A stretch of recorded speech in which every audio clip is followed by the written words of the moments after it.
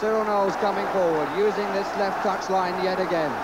Chivers making the run in the inside right position. Chivers! Beautifully made goal by Tottenham from start to finish. Chivers with the throw.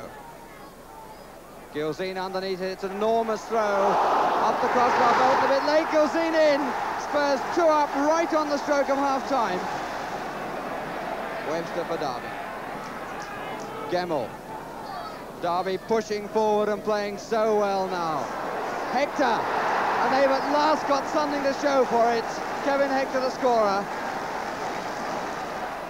Knowles with the free kick. Appeal for handball, and the referee has given a penalty. It looked as though the free kick was struck straight against the hand of John McGovern, but a penalty has been given. England against Boulton.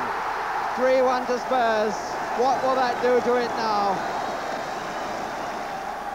Hector with the corner. Away by England. Gemmill trying to find a way through. O'Hare.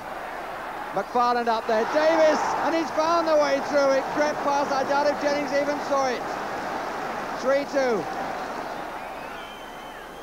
Webster's throw.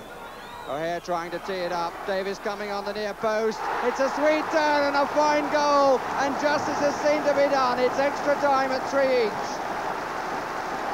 Hector with the corner. McFarland is up on the goal line in front of Jennings. Davies is coming in at the back and he scores. Derby in front and a hat-trick for Roger Davies. What a night for him and what a night for the team.